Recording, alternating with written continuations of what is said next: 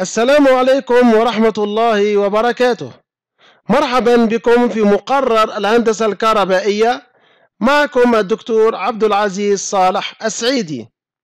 ننهي اليوم إن شاء الله هذا المحور الخامس مع الكاباسيتر المكثف الكهربائي وحيث سوف نتناول في هذا الجزء الرابع والأخير لهذا المحور الخامس درس المكثف وهو مثال تطبيقي لاستخراج التيار الجهد ال power وال energy في المكثف الكهربائي. إذا عندي مكثف كهربائي كثافته هذه قيمة ال C صفر خمسة مايكرو فراد قيمة الجهد بين طرفيه توزعت على ثلاث فترات من الزمن. هذه القيمة الأولى هذه القيمة الثانية وهذه القيمة الثالثة في ثلاث فترات من الزمن.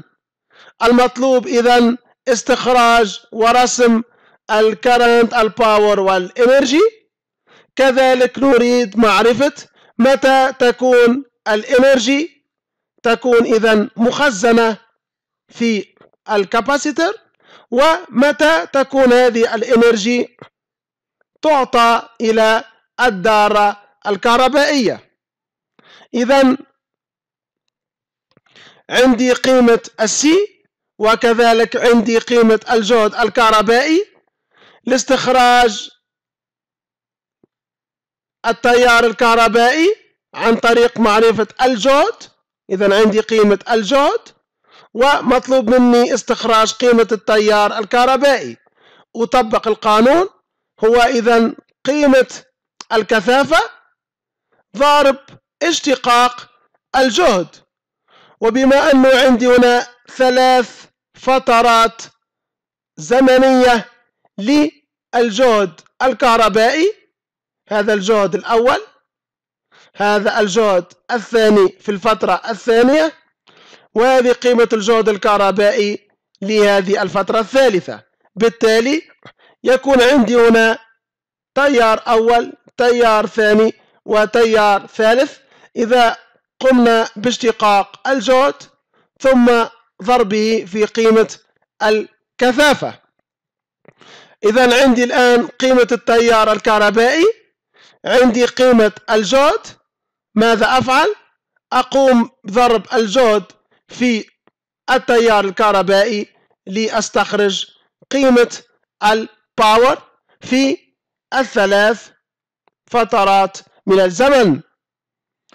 إذا قمت وعندي إذا قيمة كذلك الجهد الجهد تربيع ضارب قيمة الكثافة ضارب واحد على اثنان تعطيني إذا قيمة الإنرجي في ثلاث فترات من الزمن. بعد ما قمت باستخراج إذا التيار وعندي الجهد وقمت باستخراج ال power وال energy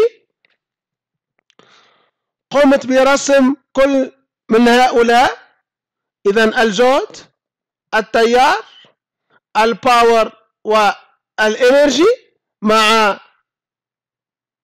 الزمن. ألاحظ هنا كإجابة للسؤال متى تكون ال energy مخزنة؟ ومتى تكون ال energy extracted يعني تستخرج من المكثف للدارة. إذا تكون هذه ال energy مخزنة متى؟ عندما تكون ال power positive ألاحظ هنا عندما تكون ال power موجبة. ألاحظ هنا في هذه الفترة يعني بين صفر وواحد ثانية ألاحظ هنا أنه تكون ال energy ستخزن إلى هذه النقطة ال maximum. ثم هذه ال energy سوف نقوم بتفريغها متى؟ عندما تكون إذا ال power هنا negative كخلاصة إذا نلاحظ كذلك أن الجهد على طرفي المكثف يكون صفر في بداية الشحن ويتغير بشكل تدريجي وليس بشكل لحظي. كذلك نلاحظ أنه إذا هذا المكثف الكهربائي هو عنصر تخزين للطاقة عندما تكون ال power positive ثم يقع تفريغ هذه الطاقة عندما تكون الباور نيجاتيف